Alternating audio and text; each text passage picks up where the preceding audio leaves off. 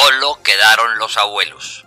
Las cifras entregadas esta semana sobre los campesinos colombianos le demuestran a quienes legislan desde los escritorios bogotanos que la realidad es muy distinta a la que ellos manejan teóricamente. En el campo parecería que solo se quedaron los abuelos. Los muchachos hace tiempo que adoptaron como meta irse a las ciudades. Si el 90.2% de la población trabajadora campesina es de mayores de 40 años y el 45.8% es de mayores de 60, es porque el país se acostumbró a importar todo lo que come y el campo ni es negocio ni porvenir para los jóvenes.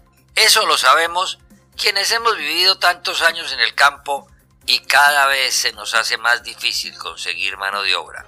El alejamiento de las posibilidades de salud, educación y diversión para la masa campesina obliga a los hijos de los trabajadores del campo a emigrar a los centros poblados.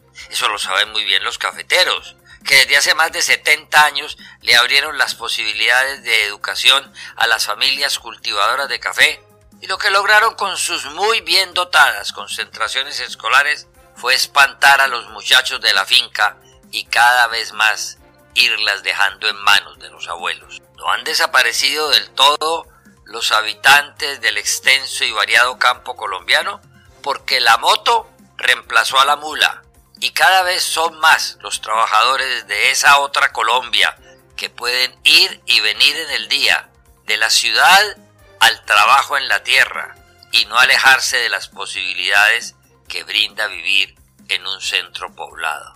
Tacan burro entonces quienes creen que el problema de Colombia para producir alimentos se arregla con una reforma agraria que reparta tierras. El problema no es solo de propiedad, es de calidad de la vida campesina. El esfuerzo que muchos departamentos hicieron para llevar salud y educación al campesino debería reforzarse entonces. La promoción del trabajo y el nivel del salario produciendo alimentos debe ser un gancho y no un castigo para los que no pudieron estudiar. Las metodologías modernas, como el Internet, ayudarían a corregir ese desequilibrio, pero así no piensan ni en la Federación de Cafeteros ni en los cerebros de los populistas citadinos.